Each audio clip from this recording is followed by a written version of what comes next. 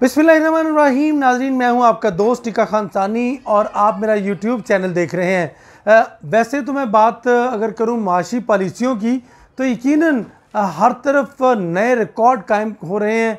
चाहे एक्सपोर्ट में देख लें, चाहे ज़र मुबादला में देख लें, चाहे तरसीलात ज़र में देख लें, चाहे ग्रोथ फोर परसेंट देख लें, मैं इस पर भी बात करना चाहता था। लेकिन इसके साथ साथ एक और बड़ा एजाज़ पाकिस्तान को हासिल हुआ है। और वो आलमी सतह पर वज़ी अजम इमरान खान की जो कामयाब पॉलिसियाँ हैं, अब उसके नतज आना शुरू हो गए हैं। और वज़ी अजम इमरान खान को आलमी फोरम की अगेन क़्यादत मिल गई है और पाकिस्तान को माहौलियात के हवाले से जो आलमी दिन पाँच जून को आ रहा है, पाकिस्तान को तारीख में पहली मरतबा क्लाइमेट के हवाले से, यानी इन्वायरमेंट के वर्ल्ड डे के मौके पर मेज़बानी मिल गई है पूरी तकारीब की। और इस मौके पर पाँच जून को न सिर्फ़ पाकिस्तान में बड़ी बड़ी तकरीबात होंगी, बल्कि वज़ी अजम इमरान खान का चुनाव उन चार आलमी लीडरों में हुआ है, जो कि इंटरनेशनल इन्वायरमेंट कॉन्फ्रेंस में शिरकत करेंगे। सिर्फ़ और सिर्फ़ चार आलमी लीडर होंगे। न सिर्फ़ वज़ी अजम इमरान खान, उसमें शिरकत करेंगे बतौर पार्टिसिपेंट, बल्कि वज़ी अजम उसकी क़्यादत करेंगे। वज़ी अजम उसको हेड करेंगे। और उसमें कौन होगा? सबसे बड़ा पॉप का नाम है वो उसमें शरीक होंगे। इसके साथ साथ दूसरा नाम है अ, जर्मन चांसलर का। और इसके साथ साथ यूनाइटेड नेशन यानी अकाम मुतहदा के जो सेक्रेटरी जनरल हैं वो उसमें शरीक होंगे। और वज़ी अजम इमरान खान उससे उस सेशन को हेड करेंगे। और प्राइम मिनिस्टर कलीदी खिताब करेंगे उस आलमी फोरम में। नाजीन ये होती है जब आपकी आला क़्यादत जो है, जब आपकी पॉलिटिकल लीडरशिप जो है, वो ईमानदार हो विजन के साथ आगे चले और उस पर इम्प्लीमेंट भी करवाए, एक अपनी ना सिर्फ़ पॉलिसीज़ बनाए, बल्कि बल्कि उस पर इम्प्लीमेंट भी करवाए तो फिर दुनिया आपको लीडरशिप की बुनियाद पर मानती है, बल्कि दुनिया खुद आपको क़्यादत देने के लिए तैयार हो जाती है उन आलमी फोरम की जिस पे पाकिस्तान तस्वर भी नहीं कर रहा था। क्लाइमेट चेंज के हवाले से पाकिस्तान के तसलसल के साथ जो पॉलिसियाँ हैं यकीन पूरी दुनिया को उन्होंने इम्प्रेस किया है। आप बिलियन ट्री सुनामी मनसूबा देख लें। कहने को तो अपोजिशन तो इसको तनकीद का निशाना बना रही है, लेकिन ये नई नस्ल के ऊपर एहसान है कि उनको क्लाइमेट के ख़तरात से बचाने के लिए मौसमी ख़तरात से, चूँकि पाकिस्तान उन पाँच ममालिक में पाँचवा मुल्क है पाकिस्तान, जिसको शदीद मौसमी जो तब्दीलियाँ हैं, उसके नुकसान भुगतना पड़ेंगे आइंदा दिनों में। तो वज़ी अजम ने पहले ही इदराक कर लिया था और क्लाइमेट चेंज के लिए सिर्फ़ बिलियन ट्री सुनामी मनसूबा ही नहीं, जिसके तहत दस अरब दरख्त लगाए जा रहे हैं। इससे पहले एक अरब दरख्त लग चुके हैं। और बल्कि क्लीन ग्रीन पाकिस्तान देख लें, जो आपका जो ख़ास तौर पे जो नेशनल पार्क्स हैं उनको प्रोटेक्टेड एरिया बना के, उनको तहफ़ फ्राहम किया गया और ऐसी सत्रह अठारह नेशनल पार्क्स, बल्कि तीस नेशनल पार्क्स बन चुकी हैं और पैंतालीस मज़ीद बननी है। काम कुछ भी नहीं है, काम सिर्फ़ कमिटमेंट का है। यही वजह है। इससे पहले ये आलमी फोरम जो है इसका, यानी वर्ल्ड इन्वायरमेंट डे का जो मेज़बानी थी, वो थी चीन के पास। पहली मरतबा पाकिस्तान के हिस्से में आई है और पाकिस्तान इसको होस्ट करेगा। पाकिस्तान मुख्तलिफ़ तकारीब मनद करेगा। आलमी फोरम पे प्राइम मिनिस्टर का खिताब होगा। पूरी दुनिया के लिए मैसेज होगा और इसके साथ साथ पाकिस्तानी कौम, पाकिस्तान के लिए पाँच बड़े फैसले होने जा रहे हैं। चूँकि ऑलरेडी आप देख लें क्लाइमेट चेंज में मिनिस्ट्री में क्लीन ग्रीन पाकिस्तान, इसके साथ साथ देख लें बिलियन ट्री सुनामी मंसूबा नेशनल पार्क्स का मंसूबा ग्रीन जॉब्स का मंसूबा इसी तरह चार पाँच ये इनिशिएटिव अपनी जगह पे हैं। लेकिन इससे बियॉन्ड मज़ीद नए ऐसे पाँच मंसूबों का ऐलान करने जा रही गवर्नमेंट जो कि हमारे पाकिस्तान की नई नस्ल की आ, की ज़िंदगियों को महफूज बनाने के लिए और माहौल को महफूज बनाने के लिए ताकि उनको तरोताज़ा इन्वायरमेंट मिल सके वो इकदाम उठाने जा रही है गवर्नमेंट जिसका बाकायदा प्लानिंग हो चुकी है और प्राइम मिनिस्टर इमरान खान ने बिलियन ट्री सुनामी मनसूबे का जहाँ से अफ्ताह किया था, वहीं पे मरकज़ी तकरीब भी रखी जाएगी। इसके साथ साथ नाजरीन, ये पाँच जून को आज मैं ये खबर दे रहा हूँ, चार जून की रात को प्राइम मिनिस्टर इमरान खान उस सेशन से रेस्ट करेंगे और यकीनन सऊदी अरब ने आपका ये मनसूबा अडॉप्ट किया। पूरी दुनिया में बिलियन ट्री सुनामी मनसूबे के चर्चे हैं। इसके साथ आपको पता है कि सी में अब तो समंदर की जो हदूद है, उसके अंदर के जो क्लाइमेट यानी उसका अंदर का जो इन्वायरमेंट है ख़ास तौर पे सी फ़ूड के लिए, इसके साथ साथ पिछले दिनों मुरजान के हवाले से मैंने खबर दी थी, और जिसमें डाइव की थी मलिक अमीन इसलम ने प्राइम मिनिस्टर ने ओशियन के भी कुछ एरियाज़ में माहौलियाती तब्दीलियों के लिए इकदाम उठाने की हिदायत की थी। मुझे, मैंने पिछले दिनों एक वीडियो सुनी बुशरा बीबी की जिसमें उन्होंने कहा कि एक दफ़ा प्राइम मिनिस्टर बड़ी तकलीफ़ में थे और बड़े कर्ब में थे।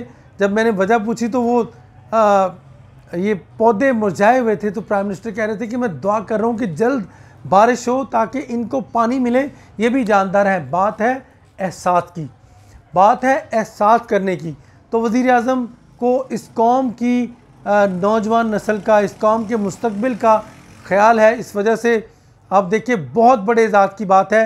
कि अब पूरी दुनिया में प्राइम मिनिस्टर की पॉलिसियाँ जो हैं, इमरान खान की पॉलिसियाँ जो हैं, उसके चर्चे, उसकी पजीराई, उनकी कामयाबियों का एतराफ़ दुनिया कर रही है कि पाकिस्तान को मेज़बानी का शर्फ मिला है।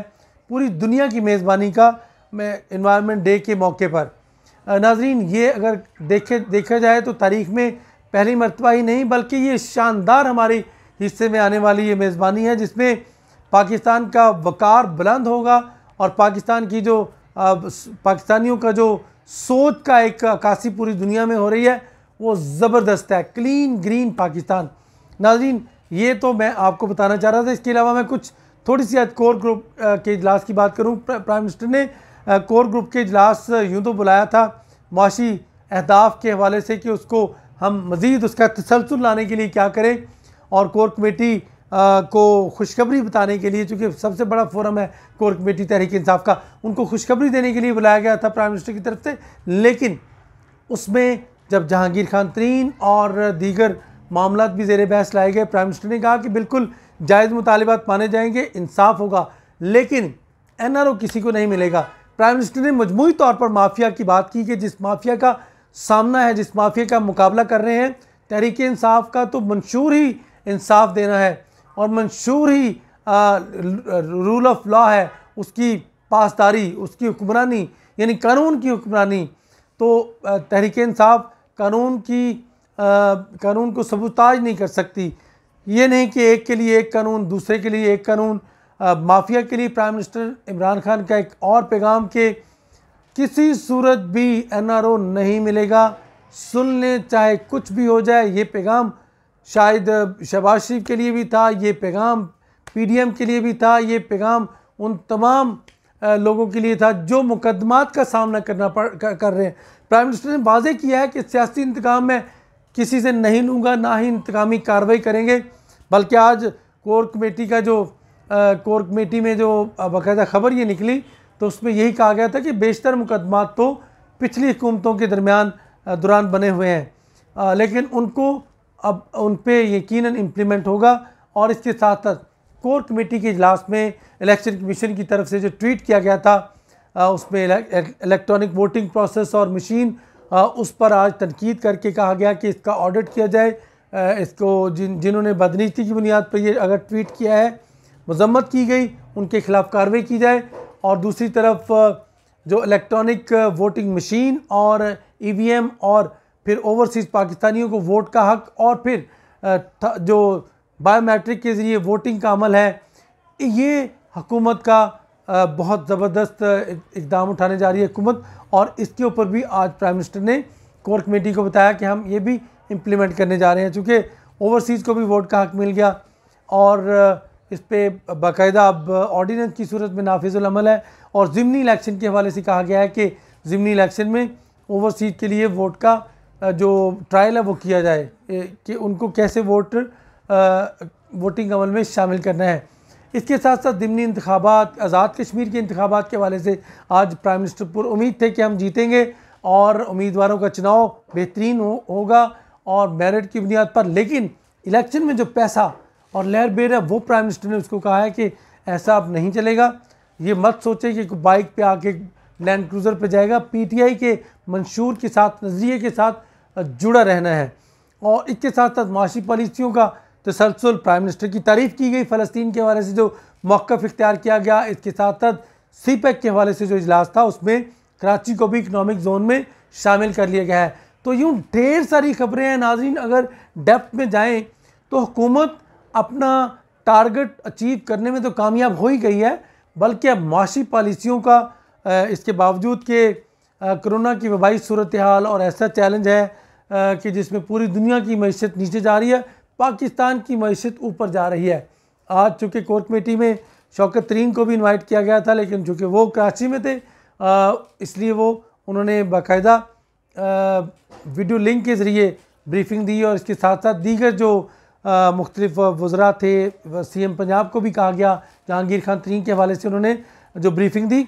और मैं इतना बताऊँ, जहांगीर खान तरीन के साथ जुड़े जो लोग हैं, उनमें से कुछ लोगों के साथ जो मुलाकात हुई, उनमें से अगर 12 13 14 लोग ऐसे हैं जिनके साथ मीटिंग्स हो चुकी हैं हुकूमती रहनुमाओं की तो जहांगीर खान तरीन को भी अपना हिस्सा ही तहरीक इंसाफ समझती है। लेकिन उनके मुकदमात हैं वो तो मुकदमा देखेंगे, चूँकि अब कोर कमेटी का हिस्सा वो नहीं है। अपने मुकदमा देखेंगे, पीटीआई के साथ अगर वो खुद कहते हैं, साथ हैं तो यकीनन पीटीआई भी उनको अपने साथ समझती है। मुकदमा क्लियर होके वो पीटीआई में आके बड़ा ज़बरदस्त मुकाम भी हासिल करेंगे तो यूँ कोई, अब वो जो एक कहा गया था ग्रुप बन के पता नहीं हुकूमत उलट जाएगी, हुकूमत के लिए बजट पास करना नामुमकिन रहेगा तो ये सारी चीज़ें अब आसान हो रही हैं।